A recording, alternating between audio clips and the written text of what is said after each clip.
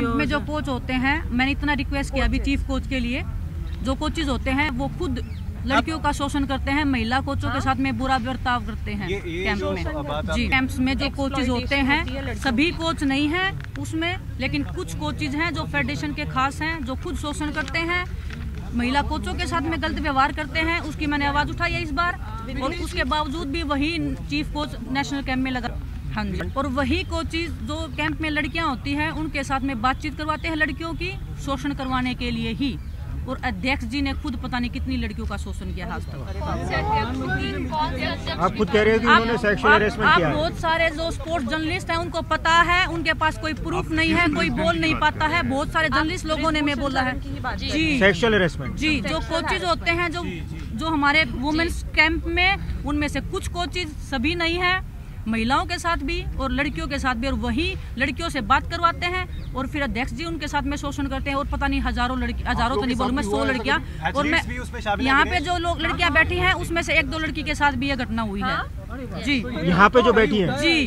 जी। तो ये जी आपने पहले क्यों नहीं आवाज़ उठाई इस बारे आप में? मारे कितने पावरफुल लोग हैं? जी। भाई आप कितने पावरफुल लोग हैं? बताया कि आज मैंने बोला है आज मैंने बोला है मेरे को नहीं पता कल मेरी लाइफ रहेगी नहीं रहेगी। विनेश ये माफ़ कीजिएगा सवाल पर ये पूछ रहे हैं, हद हो बट क्या जो आप बोल रहे हैं कि यहाँ पे कुछ लड़कियाँ बैठी इनके साथ हुआ उनमें से जी।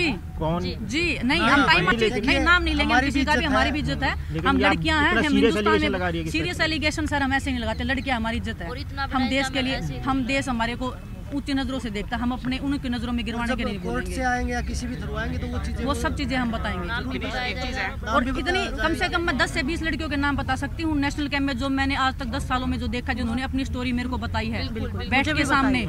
कि हमारे साथ ऐसे ऐसे हुआ है ऐसे ऐसे हुआ। है लेकिन वो उस लड़कियों में इतनी हिम्मत नहीं है सामने आने की क्योंकि फैमिली बैकग्राउंड अच्छा नहीं है क्योंकि वो इनसे लड़ नहीं सकती क्योंकि पावरफुल नहीं है। और हम आज इतनी इस इस हद पे हैं कि हम नहीं चाहते कि मेरे को आज कुश्ती खत्म कर दो भगवान की दया से मेरे पास घर है खाने को रोटी है। लेकिन मैं नहीं चाहती कि हमारी आने वाली जनरेशन इस इस इस दर्द से गुजरे या इस दौर से गुजरे इस दलदल में फंसे। रेसलिंग को बचाने हम यहाँ पे आए हैं सिर्फ़ हमारी ये हमारी मोटिवेशन है कि हमें लड़कियाँ मैं लड़की हूँ। हमें क्या हम तो एक दो साल और कर लेंगे ठीक हम काफ़ी सीनियर है लेकिन हमारे आगे आने वाला भविष्य क्या झूठी एफआईआर दर्ज होने पर क्या करें? कुछ लोग बदला लेने के लिए झूठे केस में फंसा देते हैं या ब्लैकमेलिंग करके धन ऐंठने के लिए झूठे केस में फंसा देते हैं या सामाजिक प्रतिष्ठा को नष्ट करने के इरादे से झूठी एफआईआर दर्ज करा देते हैं।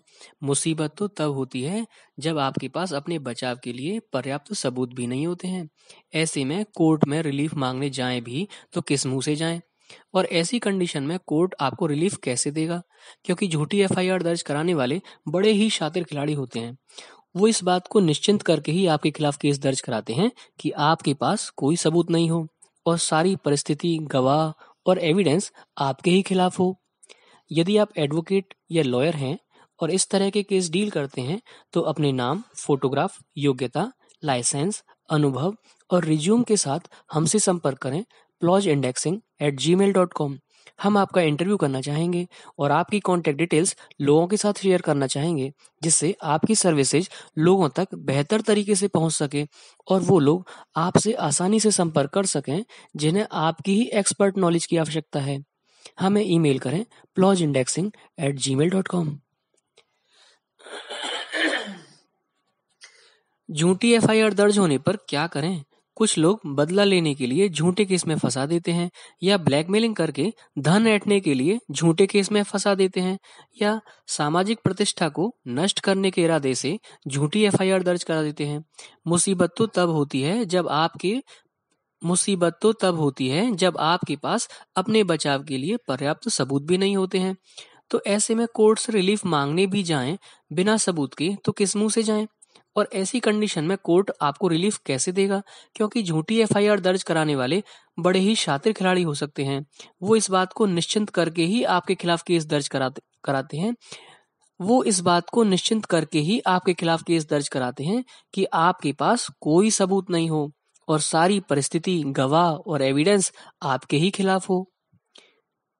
यदि आप एडवोकेट या लॉयर हैं और इस तरह के केस डील करते हैं तो अपने नाम फोटोग्राफ योग्यता लाइसेंस अनुभव और रिज्यूम के साथ हमसे संपर्क करें। Applause indexing at Gmail dot com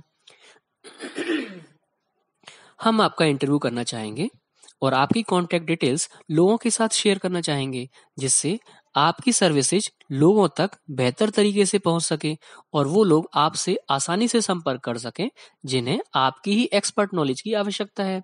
हमें ईमेल करें applause indexing at Gmail dot com